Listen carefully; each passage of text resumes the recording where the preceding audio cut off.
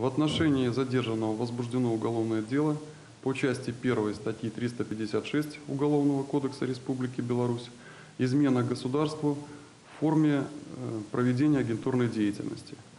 Э, в настоящее время проводятся